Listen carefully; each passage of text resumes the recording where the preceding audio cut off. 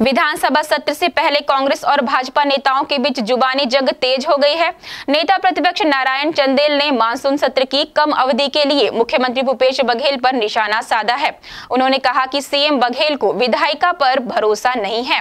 18 जुलाई से 21 जुलाई तक छत्तीसगढ़ विधानसभा का मानसून सत्र आहूत किया गया है। दुर्भाग्य यह है कि जब से भूपेश बघेल मुख्यमंत्री बने हैं, कभी भी विधानसभा का कोई भी सत्र अपनी अवधि पर पूरा नहीं कर पाया। सत्र की अवधि कम की जाती रही है। सरकार सदन में चर्चा से भागना चाहती है, सवालों से बचना चाहती है, लेकिन लोकतंत्र के पावन मंदिर में सवाल तो पूछे जाएँगे, जवाब तो देना होगा। 18 जुलाई से 21 जुलाई तक छत्तीसगढ़ विधानसभा का मानसून सत्र आहूत किया गया है। दुर्भाग्य यह है कि इस पूरे कार्यकाल में जब से श्री भूपेश बघेल जी मुख्यमंत्री बने हैं, छत्तीसगढ़ में कांग्रेस की सरकार बनी विधानसभा का कोई भी सत्र अपनी अवधि पूरा नहीं कर पाया।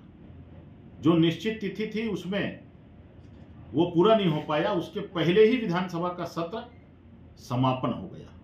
यह इस बात का घोतक है कि छत्तीसगढ़ की कांग्रेस सरकार, यहाँ की भूपेश सरकार, विधायिका के ऊपर में विश्वास नहीं करती विधायिका का अपमान करती है। वह सदन में चर्चा से भागना चाहती है। बचना चाहती है। लेकिन हम भूपेश जी को कहना चाहते हैं कि लोकतंत्र का पावन मंदिर है, विधानसभा। सवाल तो पूछे जाएँगे और जवाब तो देना होगा।